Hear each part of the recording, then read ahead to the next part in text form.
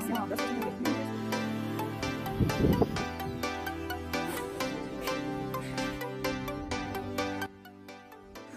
Hey guys, welcome back to my YouTube channel Aanchal's MBBS journey this is doctor Aanchal intern from government Doon medical college और जैसे आप इसमें देख सकते हो कि मेरी नाइट ड्यूटी थी आज और मैं बहुत ज़्यादा बीमार लग रही हूँ क्योंकि मैं बीमार थी. ऑलरेडी लास्ट इवनिंग मुझे 103 डिग्री फीवर था पर मैं छुट्टी नहीं ले पा रही थी क्योंकि मुझे पता नहीं कि आगे और कितने ज़्यादा फीवर आ सकता है या कितने ज़्यादा दिन तक ये फीवर रहेगा.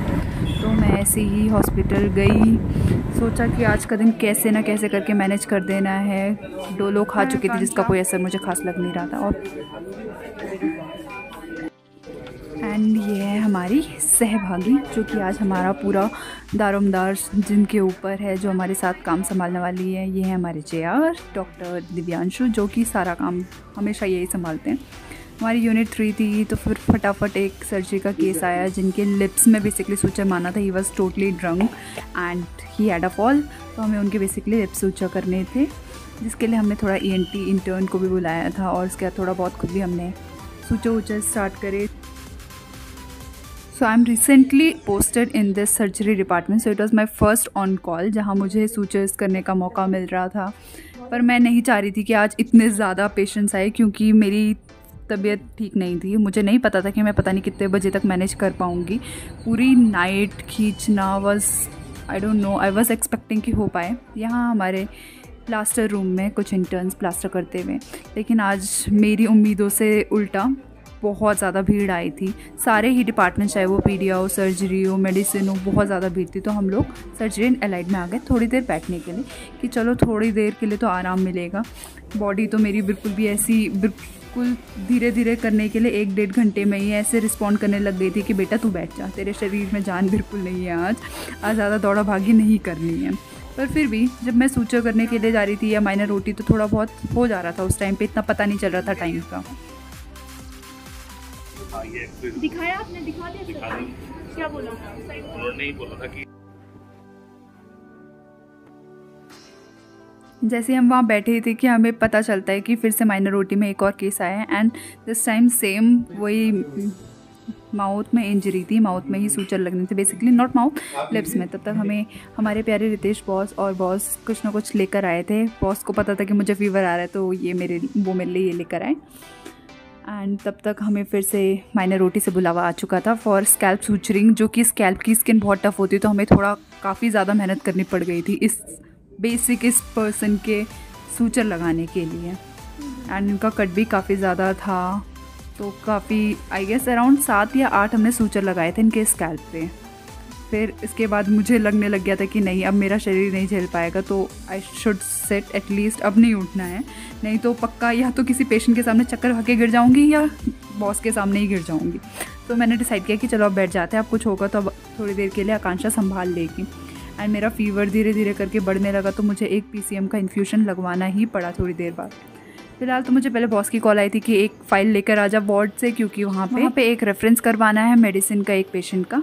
तो मैं फटाफट गई वार्ड सात आठ। में जहाँ मैंने फटाफट ये सारी फाइल्स ढूंढी, उस बीच वहाँ पहले तो मुझे मिली नहीं। बहुत देर बाद मुझे बहुत सारी फाइल्स के बीच में एक फ़ाइल मिलती है जिसका रेफरेंस होना था। तो मैं वापस लेकर गई इस फ़ाइल को जैसे तैसे मैं वहाँ पहुँची। चक्कर की हालत में बेहोश होते होते पर फिर मैंने रेफरेंस करवाया मैम से एंड ये है हमारी कार्डियोलॉजी इंटरवेंशन रूम जहाँ कैथ लैब है जो हमारी बेसिकली अभी न्यूली लॉन्च हुई है। तो जैसे करके हम फटाफट वहाँ पहुँचे एंड फिर मेरा फ़ीवर बहुत ज़्यादा राइज़ कर चुका था already hundred and three and hundred four ऐसे बहुत पीक हाई फीवर चल रहा था।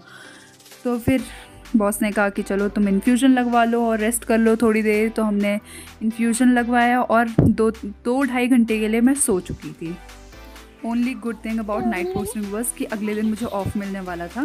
तो मेरी बॉडी को थोड़ा टाइम मिल जाता रिकवर होने के लिए।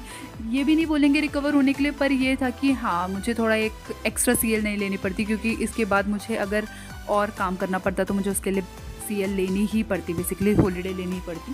पर वो मुझे लेनी नहीं पड़ी और ये है हमारे बॉस का फ़ोन क्योंकि वो दो दिन पहले खो चुका था तो उन्हें फ़िलहाल इस डब्बे वाले फ़ोन से काम चलाना पड़ रहा था।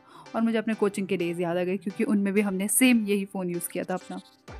फिर जब मैं उठी तो फिर हमें ये पूरा कंप्लीट करना होता है कि आज कितने पेशेंट्स आए हैं, उनका क्या ट्रीटमेंट चार्ज चला है एंड उनकी आईडीज़ वगैरह। तो मैंने सोचा, चलो मैं भागम दौड़ी तो नहीं कर सकती एटलीस्ट मैं बैठ के ये काम तो कर ही सकती हूँ। तो मैंने ये करा। फिर हम वापस आए वहाँ इमरजेंसी रूम में, जहाँ की फ़िलहाल मॉर्निंग के टाइम पे भीड़ कम थी।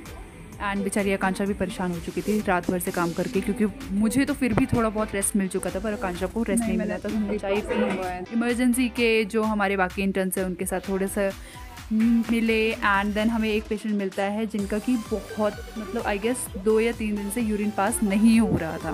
तो वो पेशेंट को लेकर आए थे वी ट्राइड कि हाँ पहले सिस्टर जी ने ट्राई करा उसे फ्लश करने का पर नहीं आया कुछ भी नहीं हो पाया।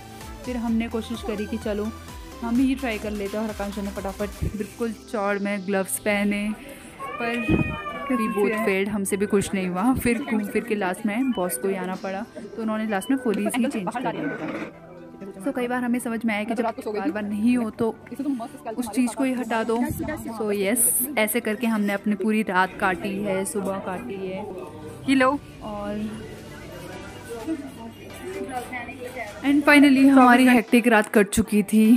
बीमार इंसान बहुत ज़्यादा एक्साइट एक्साइटेड थी सुबह कि चलो अब वापस जाना पड़ेगा। मेरा बुखार वैसे मॉर्निंग के टाइम पे मुझे लगा कि कम है इवनिंग में ज़्यादा बढ़ जा रहा था। सो so, बस इंतज़ार कर रहे थे कि ओवर लेने वाले कब आएँगे नेक्स्ट बच्चे कब आएँगे और कब हम यहाँ से वापस जाएँगे रूम पे जाऊँगी थोड़ा रेस्ट कर पाऊँगी। खाना खाने का तो मेरा बिल्कुल भी मन नहीं हो रहा था बहुत ज़्यादा नौजिया हो रहा था। इसीलिए कल फिर बॉस भी जो लेकर आए थे उससे मेरा इतना ज़्यादा मन अजीब सा हो गया था कि कुछ खा ही नहीं पाई थी। एंड विद दिस कि मैं फटाफट वापस भागी। जैसे ही मुझे मौका मिला कि चलो बाकी बच्चे आ गए हैं तो चलो अब वो संभाल लेंगे। बाकी हमारा काम तो ख़त्म हो गया आज का एंड मैं थोड़ा रेस्ट करूँगी।